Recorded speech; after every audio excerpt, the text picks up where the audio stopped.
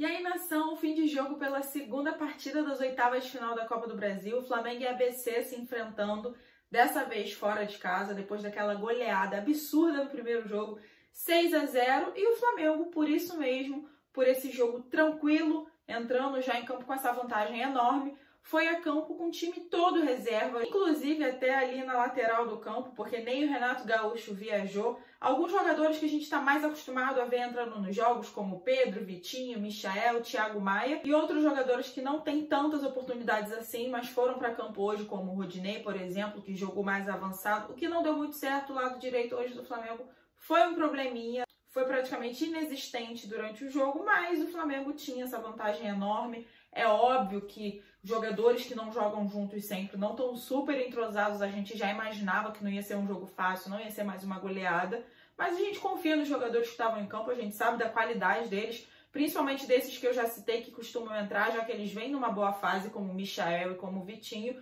Vitinho, que inclusive para mim foi um dos melhores do jogo, se não o melhor, principalmente no primeiro tempo, achei que ele foi muito bem e merecia o gol lá que ele perdeu no primeiro tempo. E no primeiro tempo, depois dos primeiros 10 minutos ali que o ABC tentou chegar um pouquinho mais, o Flamengo dominou completamente, teve uma posse de bola gigantesca, começou a criar chances e o goleiro deles começou a pegar tudo. Quase que saiu o gol de falta que a gente já não vê há anos, inclusive saindo dos pés do Vitinho, mas o goleiro catou aquela bola que tinha endereço e voltamos para o intervalo no mesmo ritmo, o Flamengo melhor, criando mais chances, chegando mais no gol, mas o gol não saía. E quando saiu, o VAR misteriosamente estava descalibrado. A gente lembra que agora no Campeonato Brasileiro 2020 teve a polêmica do VAR descalibrado e hoje aconteceu. O Bandeirinha deu o impedimento do Michael no gol dele. No replay, eu acho que é consenso geral de que ele não estava em impedimento. Naturalmente, o lance ia para o VAR, só que o VAR manteve a decisão de campo. Por quê? Porque estava descalibrado, não tinha como colocar linha, tinha que validar então a decisão de campo, já que eles não tinham como provar, sendo que estava ali nítido para todo mundo que ele não estava em impedimento, e inclusive no primeiro tempo um pênalti não marcado em cima do Léo Pereira, onde ele teve a camisa puxada ali na frente do juiz, que ele poderia ter marcado em campo, inclusive, porque a bola foi nele, então o juiz estava olhando para o lance e mesmo assim não foi marcado. E assim, não é porque a gente ganhou o primeiro jogo de 6 a 0 que no segundo jogo tem que acontecer um absurdo desse. É Copa do Brasil, é um campeonato gigantesco, e aí a gente chega numas oitavas de final e o VAR tá descalibrado, é ridículo.